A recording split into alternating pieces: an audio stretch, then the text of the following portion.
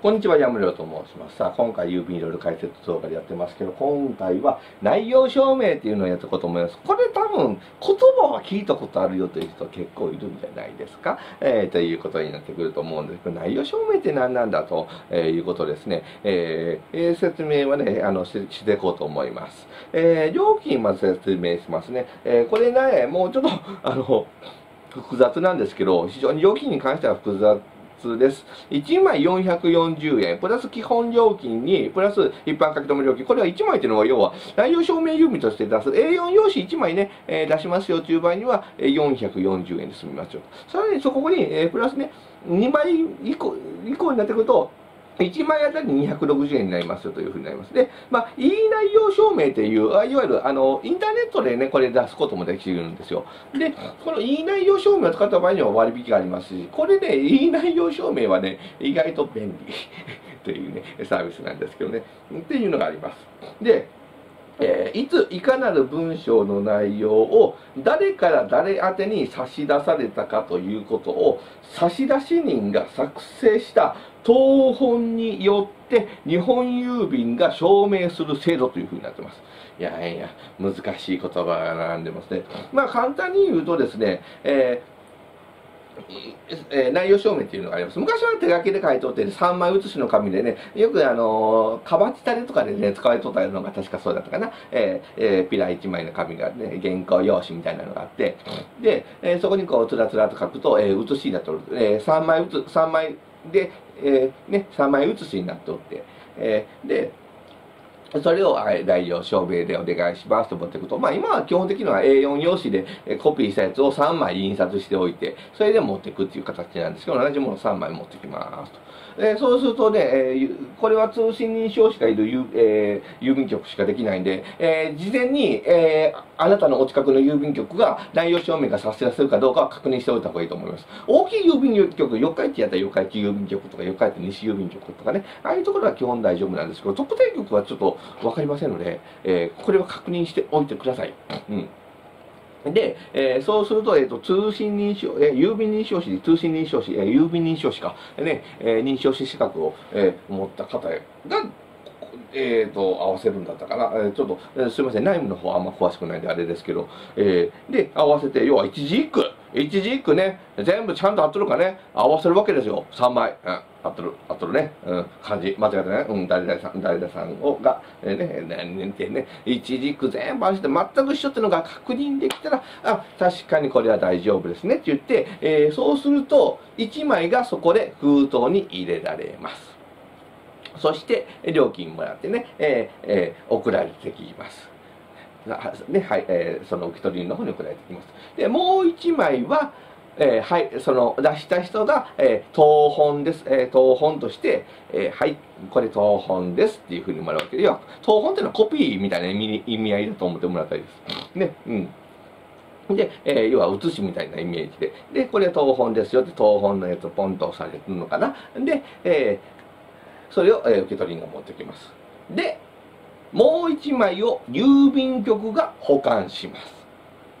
これでよってどうなるかって言ったら、いわゆる、えー、受取人が、いやそんな文章じゃなかったわ、おね、うん、えー、100万円の請求、そんなわけない、俺、ね、あ俺が請求受け取るのは10万円しか受けてない。ね、100万円なんて、そんなことど、どこに書いてあった？とね、えー、ね、えー、ね、受取人が言ったところで、いやいやいや、ちゃんと当本ありますよね。えー、ほら、100万円って書いてあるやないか。そいや、そっちがでっち上げやないかとかってなった時に、じゃあ郵便局さんに聞きましょう。行くと、郵便局員さんが、はい、100万円で確かに少々受け取ってますって言って、あの、裁判の時に、はい、出されるわけですね。ということで、こういうふうに揉め事とかになった時に、まあ、まあ、ですから、えー、知ってる人はね、もう内容証明が取れた時点でそんな悪あがきはしませんね。えー、実際あれ、ね、そういったね、やつとかでも、まあ、内容証明が届いたら、まあ、分かってる人はね、もう、うん、てめえ姑息な手使いやがってみたいなことを言いながらね、えー、まあ大体応じるしかなくなるんですよね。うん内容証明が届いた時点で。まあそういうようなやつですよということです。で、えー、内容証明だとね、データでね、自動的に分かってね、それで、えー、電子的にね、あの、東本とかも取れるんで非常に楽ですし、えー、ね、ね、自宅とかね、そういったところもできますからね。うん。っていうのがあります。ただ、えー、で、えっ、ー、と、ね、これ、あ、これから集配郵便局と一部の郵便局の窓口でのみ引き受け可能ということでね、まあ、いい内容証明はね、あの、えインターネットでできますから非常に楽ですけどね。うん、で、窓口にて、えー、内容文書、当本2通、差出人、ね、えー、これ、当本が2通いりますよ。と、同じものが。これ、合計3枚いるわけですね。えー、で、えー、および受取人を記入した無風の封筒ね、これ、あの、要は、差し出しをするときね、もしあなたがね、訴えますよと。か、誰かをね、訴えたりとかね、シェアなんか、まあ、よくあるのは相続とかで揉めた時とかなんですけどね、えその場合には、ね、その文章を書いて、まあ、基本的には行政書士さんがやってくれるのかな、司法書士さんとか、ね、えー、サービスで多分そこのところまでやってくれると思うんですけど、一応ね、出し方は覚えておきましょう。で、えー、無風の封筒、封をしてない状態で、要はそれを持って、では中身が本当にあっちのかどうか確認してもらわないと、あの、郵便局もそれ引き受けできませんから、で、えー、郵便料金を差し出します。これ、封筒に切っては貼り付けたらダメです。で、えー、いうのが重要になってきます。そして、えー、ここにすみません、あの、チラリと書いてないんですけど、えー、もう一つね、えー、封筒にあらかじめ内容証明って書いちゃダメですからね。書いちゃダメですよ。書いちゃダメですよ。封筒にもあらかじめ内容証明ですからね、内容証明って書いて出そうとダメです。それから内容証明って書いちゃダメなんです。だから、あの、入社してね、えー、新人のね、郵便局に配達やってる人で、ふと思うことないですか？いろいろ配ってるけど、内容証明郵便って私配ったことないですよってね。え、なんでなんでいや、困ったことさすがにあるんちゃうの？内容証明をいつぐらいと。いやいやいやいや、ないですよ。だって内容証明って書いて、内容証明ですって言って、印鑑もらったことないです。あ、たまに漫画とかで、あ、内容証明ですって郵便局員さんが持ってくことありますけど、絶対にないですからね、あれ。絶対ないです。なぜなら、内容証明郵便には絶対内容証明って書かれずに、えー、一般書き留めとして出されるんです。えー、これがね、えー、で、差出し、あると、差出しには、シャチ旗でない印鑑を絶対用意しておいてくださいよ。あの、シャチ旗ダメなんで、これ。っていうのがありますよ、というのはちょっと頭に入れておいてほしいんですけど、で、そう。大事なのは、え基本的に内容証明郵便を出す場合という場合には、えー、基本的にじゃなくて、もう内容証明とは書かれずに出されます。で、一般的には一般書き留めというふうな扱いで出されるんですが、事実上、事実上これは配達証明として出されることが圧倒的に多いです。9割9分って言っちゃっていいんじゃないかな。9割以上は絶対にありますよ。基本的にですから、配達証明として配達されているものが内容証明だと思ってもらっても差し支えないんじゃないかな。基本的にはこの配達証明にえ内容証明にプラスオプションない配達証明をつける。なんでそこまでしないといけないのか。つまり裁判所で証書としてそういったものが必要になってくる。ということなんですね。一応、サービス自体としては内容証明に配達証明をつけなくてもできることはできるんですけど、えー、もう基本的にプロの方でしたらもう絶対につけます。うんいやあの内容証明を出すっていうことはそれなりにそれなりの意味を持ってる時なんでっていうことはもう配達証明までつけといてガッチガチに法律で固めるっていうね、えー、いうことですね、えー、そうすればね、えー、もう配達の証明と内容の証明で、えー、法的な証明書をねしかりとそれとおけばかかる裁判でガッチガチにできますから。だから絶対にプロの人は絶対につけますですね。えー、えー、まあね、素人の方も、素人というかね、えー、一般の方もね、これは覚えておくといいかもしれません。ってことなんで、基本的に配達証明が届いたら、代用証明かなと思ってもいいんじゃないかなと、えー、いうことで、えー、差し支えがないかなと思います。えー、ということでね、まあ、これぐらいから内容証明に関しては、うん、まあ、実際に出すことになったらね、まあ、ただ実際に本当にこういうふうに出すっていうふうになった時には多分、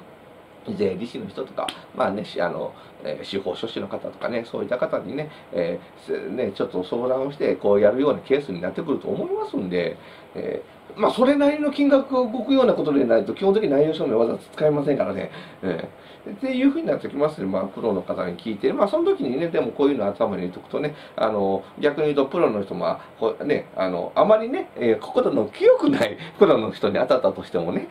あの、あ、この人は何や、ずぶの素人ではないな。あの、大丈夫ですよね、内容証明ってあの配達証明つけてやってくれるんですよね、とか言ってたら。ああ、もちろんですよっていう腹の中で、あ、この人はある程度ちゃんと調べながらやってる人やられたら分かりますよね。抑止力になるかなということで、覚えといて損はないかなと思いますね。えー、で、えー、あとは、あ、しまった。あ、どのところに書いてあったな。えー、もう一枚のペディアに書いてありましたね。えー、封筒には内容証明郵便と明記する必要はないですよ。というか、基本的に書いてゃダメ、書いてゃダメですよ。で、赤字で書き留めて書きます。ね、で、えー、内容証配達証明を付加する場合に配達証明と記載されると。で、配達証明と、えー、利用される場合がほとんど、まあ言いましたよね。一応本当にいい例なんですけど、もう基本的には、えー、それだけのことになってますから。これだけの金額かけて、これだけの手間をかけて、えー、それだけの、えー、ね、えー、用紙を用意して、ね、それなりに出すってことはもう、これは はい、そういう状況ですからね、っていうことですね。で、え、手書きの場合、市販されている内容証明書用紙っていうのを使用しますと。内容証明書用紙ってのも一回ちょっと買ってみたら面白いかもしれませんね。売ってるから私ね、ちらっとこの前見かあの探してみたんですけど、ちょっと見当たらなくてね。一回ちょっともしうまいことを見つけられたら内容証明書用紙買ってみようと思います。で、えー、送達した文章の内容を証明するもので、あ、これ大事です。文章の内容が事実かどうかを証明するものはないないですよと。ね、内容証明で揃えたんやから、ね、お、お、お前、俺からね、1000万円、俺が貸した1000万円返せってね、言ってね、いやいや、借りてないですよっていう場合にもね、うん、いやいや、内容証明で1000万円、ね、貸したって言ったじゃないか。だから絶対有効なんだって、それは違います。あの、それはそれでちゃんと別でね、用意してくださいねってことがありますんで、ね、でっち上げのね、可能性もありますけど、それはわかりませんからね、さすがに、あ、この人1000万円貸してない人やなんなんて、それわかりませんからね、郵便局員がね、その文章を見ただけでね、まあ、ずっとね、プロの人でね、あの、取り扱っとったら、なんとなくそういうの気づくかもしれませんけど、まあ、何でも分かりませんから、だから、あくまでも文章の内容を証明するものであって、えその文章の内容が正しいかどうかを判断するものではないということですね。えだから、あの、内容証明が届いたからといって、うわ、借りた覚えもない1000万円請求されたから俺人生終わりだと思う人はないですからね。そこは、あの、またその手のプロの人に任せてください。